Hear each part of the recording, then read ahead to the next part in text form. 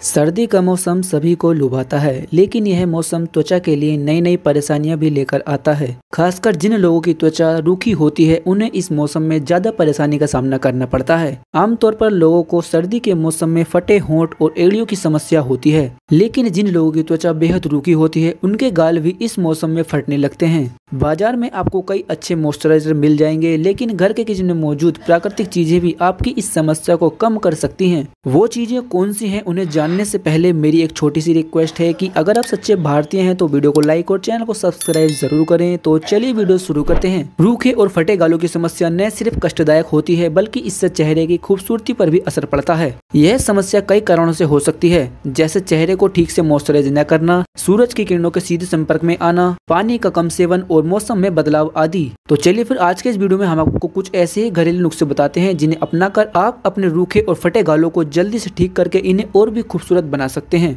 Number one शहद करेगा मदद। शहद कई ऐसे औषधीय गुणों से भरपूर होता है जो त्वचा को प्राकृतिक रूप से मॉइस्चराइज करने के साथ साथ उसके घावों को भी जल्दी भरने में मदद करता है। फटे और रूखे गालों को ठीक करने के लिए सबसे पहले चेहरे को धो लें और फिर तोले से पहुंचकर गालों पर शहद लगा लें। अब आधे घंटे बाद चेहरे को साफ़ पानी से धो लें। अच्छे परिणाम के लिए इस उपाय को रोज़ाना दोहराएँ।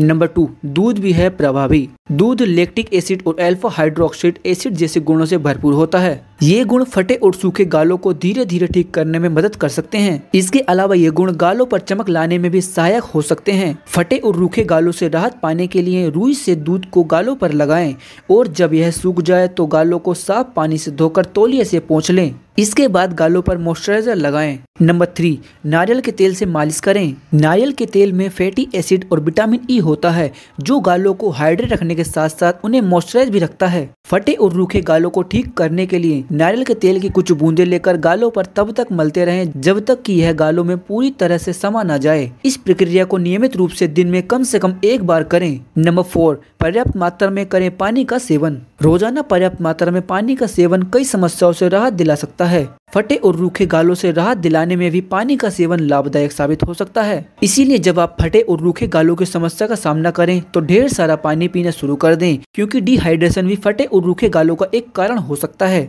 पानी का सेवन डिहाइड्रेशन को दूर करके गालों को खूबसूरत बना सकता है। तो दोस्तों, अगर आपको रूखे और फटे गालों की समस्या है तो आप ये घरेलू नुस्खे अपना सकते हैं। तो दोस्तों, ये नुस्खे आपको कैसे लगे, नीचे कमेंट करके हमें ज़रूर बताना। और ऐसे इंटरेस्टिंग वीडियो के लिए हमारे चैनल को सब्सक्राइब ज़रूर करें। तो मिलते हैं नेक्स्ट वीडियो में, तब तक के लिए अपना ख्याल रखें। जय हिंद, जय भारत।